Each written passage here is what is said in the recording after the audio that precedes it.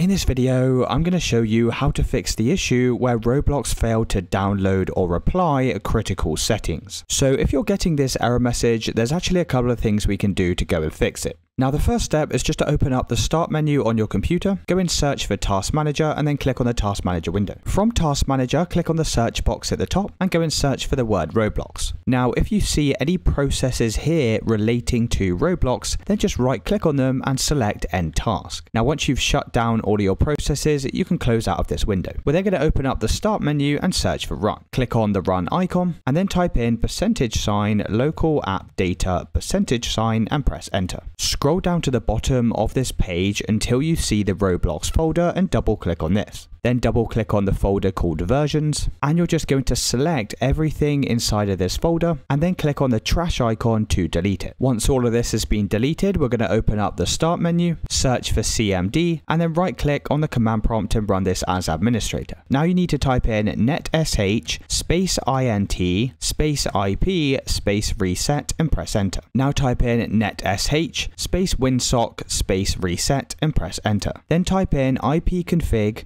space forward slash release and press enter. Then type in ipconfig space forward slash renew and press enter. And lastly, type in ipconfig space forward slash flush DNS and press enter. Once you've done all of that, you can close out of this window. You'll then need to go and restart your computer. Now, this is really important in order for this to work. Once your computer's restarted, open up an internet browser and head over to the Roblox website. Then just click on any Roblox experience, click on the play button and click on download Roblox. Then you'll just need to go through the steps on the screen to reinstall Roblox to your computer. Now once Roblox is installed, just make sure to run this as an administrator. You can do this just by right clicking on the application, clicking on properties, click on the compatibility tab, check the box next to run this program as an administrator, and then go and press apply and OK. You can then double click on the Roblox player to start playing Roblox. And it's as simple as that guys. If you did find this video helpful, then let me know in the comments and I'll see you in the next one.